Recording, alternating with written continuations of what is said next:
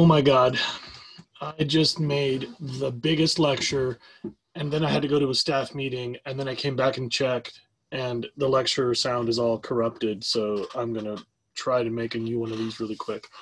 Um, yesterday we were talking about greenhouse gases. Usually this is a huge lecture with a bunch of notes, but I'm going to have to do something wacky because my last video was all messed up.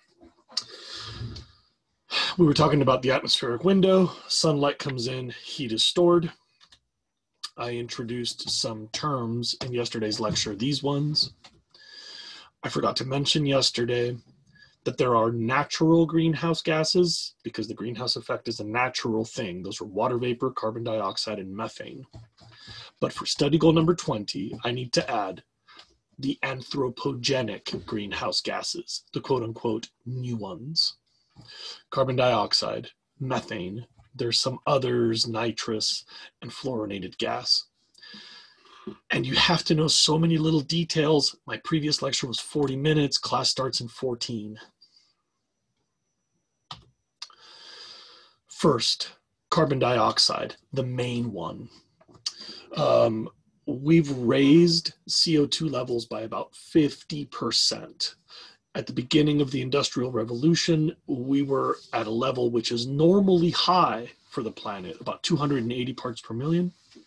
Today, we're approaching 410. The best reading I could find yesterday was 409.8. Uh, that's an extremely high level. It breaks a lot of records. Um, essentially, as far as we can tell, it's never been this high. Um, we know for sure that it's never been this high for 800,000 years, and pretty sure it hasn't been this high for 230 million years, which leads us to believe that it hasn't been this high since life uh, started on Earth. Um, the main sources are energy, um, burning fossil fuels for transportation and for electricity. Um, you've probably heard all this before. I'll show you some more details soon. Um, also, changes in land use. So uh, when you cut down trees, um, of course, the death of those trees gives off CO2 as they are burned or they decompose, that CO2 being added. Um, but also, if the trees are not there to absorb CO2, then more is left in the atmosphere. So when you build a city, you've taken away a place for carbon to go. Thus, urbanization raises CO2 levels. There's also some oddball stuff like um, landfills and making cement. Um, but CO2 is a big deal. We know that historically, CO2 levels are really tightly correlated to temperature levels. Um, we also can see that the main sources are fossil fuels and industry, changes in land use. Um, and it's also neat to see where it goes. We'll talk more about this later, but a lot of the CO2 goes into the ocean, goes into life on land, and most of the extra is left in the atmosphere. Interestingly, when we look into the past, there are times that we can't find the sunk carbon. That's probably in deep sea ocean current complication stuff, but our understanding of these systems is a bit limited. This is one of those limitations. You can see that total CO2 has been rising since industrialization started. You can see that the first fossil fuel was coal. And then as we started to develop petroleum, that raised total CO2 on top of coal. For a while, we had more petroleum than coal, 60s and 70s, muscle cars. Uh, nowadays, coal is leading again. Uh, many parts of the world are developing electricity. Um, we add to coal and petroleum with our use of natural gas. Here's that cement production I was telling you about. Now, if you look in the United States, this is a US map. For the US, our main source is electricity, and number two is transportation. Keep in mind, these are also our main sources of inefficiency. We talked about that in the energy unit. That's important for you to know. Um, so you should note that in the US, it's electricity, transportation, industry as a large category, business and residential use, and then agriculture. Now, in a place like California, that's different. In California, we don't have a lot of electricity CO2 because we have a lot of nuclear, solar, and wind. So you can see that in our case, electricity problem is being uh, addressed, but the light duty vehicles are a huge part of our transportation, the biggest wedge in California. Um, I actually think it's interesting to look at the countries. And if you look as a nation, China makes more CO2 than about 160 some nations on Earth. Uh, China's number one, US is two, the European Union is three, uh, India is fourth, Russia's fifth, and Japan is sixth. You should probably know those. Go back and write that down. But what's neat is if you put them on a map, you'll notice there's a certain pattern. So this would be the global guilt map of nations. But here's what it would look like if you could just see the CO2. I think that's pretty amazing. When I say this, some of you should think, well, what about the people, right? Like China makes a lot, but you know, they, they make double the CO2, but they've got like six times as many humans. And so this is an interesting thing. What if you take the national total and then you divide it among the people? That's called per capita, like per person, per head. And yeah, China's a huge percentage, the number one percentage of the global emissions. That is the most kilotons of CO2 made by any nation, more than double the US, which is more than double India. But there's a ton of people dividing that. So per person, the average Chinese person is less than half of the average American person. And like that's kind of a lot, but India has a whole lot of people. So actually, per person, India's contribution is really minor. In case you're curious, a few countries in the Middle East are even worse. And surprisingly, Canada is even worse than the United States because their homes require a lot of heating, right? Canada's um, up more north than we are. So, like, we've got a few people that use a lot of home heating. Keep in mind, all Canadians use more.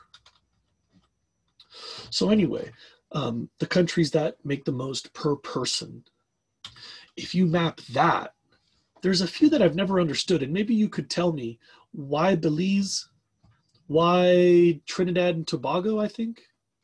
The Persian Gulf ones we understand you know, Dubai, Kuwait, United Arab Emirates, um, a lot of air conditioning, a lot of desalination. Um, so uh, if you look at the history of a country, the United States has made the most cumulative CO2. I hope that makes sense. The most cumulative CO2 was made by the United States. So over the history of the nation, keep in mind, we built a country that built the world economy that started right at the rise of the industrial age. See, a lot of these countries maybe have a long history but haven't had a lot of industrialization. We were a country that built industrialization and then leveraged that through more than a century of growth. So, in the history of countries, we are by far the most CO2 emission here in the United States that was a lot of details, and I have to warn you, you have to take a lot of notes in this one. Um, methane is the second anthropogenic greenhouse gas. This is the fart one. You know, you can light your farts because anaerobic decomposition. Um, we've more than tripled. So there was 700 parts per billion in the atmosphere. We're pushing 2,000 now. Um, these are basically unprecedented levels. There's never been this much in the history of life, except the mass extinctions. When ecology changes, you get a lot of decomposition. Um, here's a crazy thought methane is way hotter than CO2.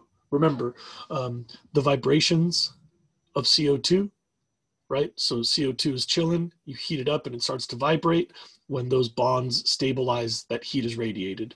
Now, methane, when you heat it up, it gets really unstable. and then that methane will restabilize and give off 10 times more heat. So if you look at the elasticity of the bonds in CO2 versus the elasticity of the bonds in CH4, methane is stretchier, it holds more energy, it can destabilize more. So it's important to know that uh, methane is 10 times hotter than CO2 per molecule. And that's why we burn natural gas when it's vented at an oil rig or something like that. Um, maybe you know, um, like if you're driving down Rincon, there's that fire ball of death on the left, or if you see the oil rigs at night, they make these huge red flames. Uh, you should know these sources, and I have to go fast. The number one source is literally farting cows.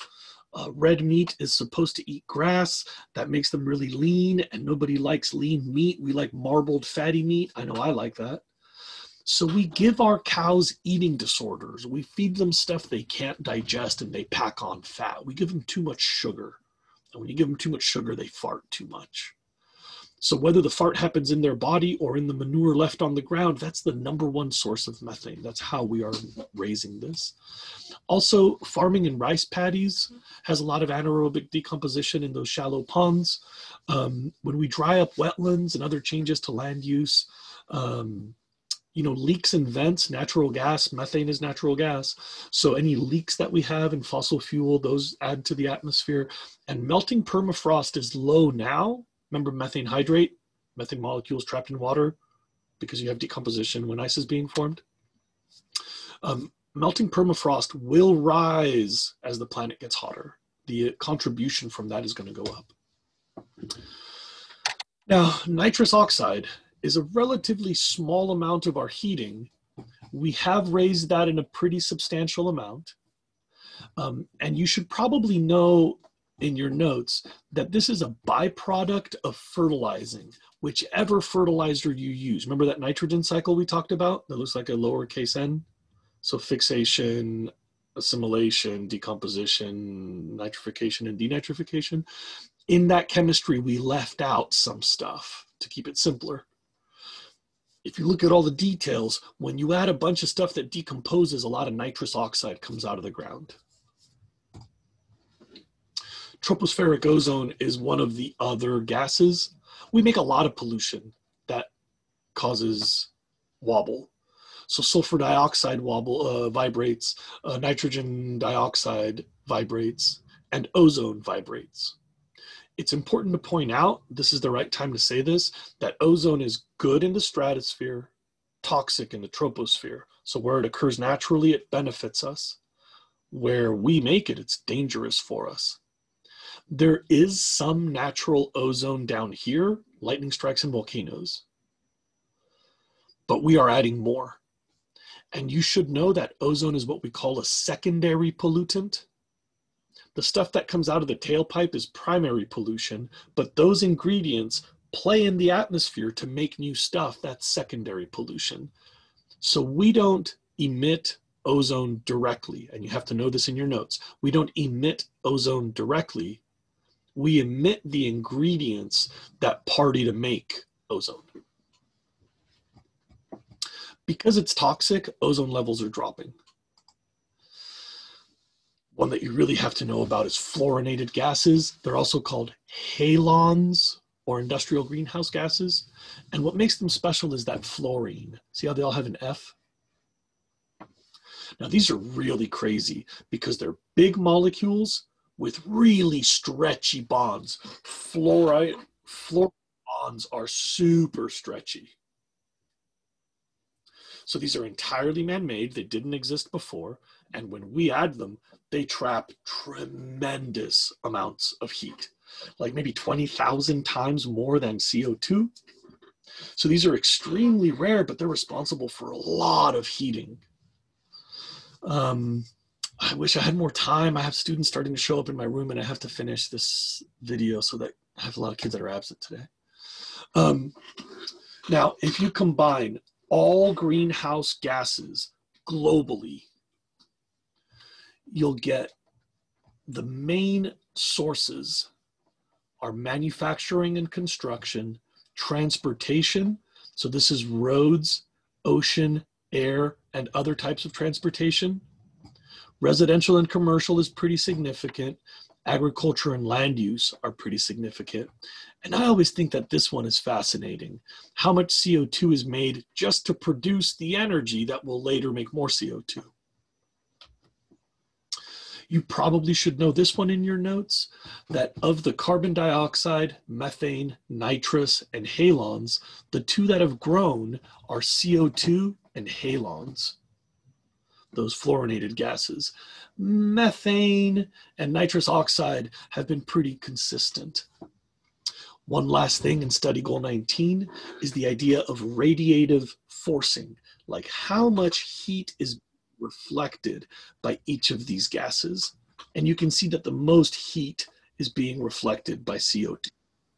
But look at how much we get from those minor ones and from the fluorinated ones. One more slide to show you, and then I got to stop because kids are showing up. Um, if you look at all the things that humans do, we are driving climate change primarily through CO2 and methane. There's a few things that we do that would be reversing climate change, like we add dust, which blocks light, or we add dust that makes clouds form, and then clouds block light.